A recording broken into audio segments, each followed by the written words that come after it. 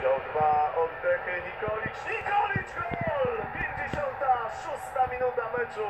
Legia prowadzi w Dublinie z Nadal. 1 do No i ten scenariusz zaczyna nam się podobać. Legiunia!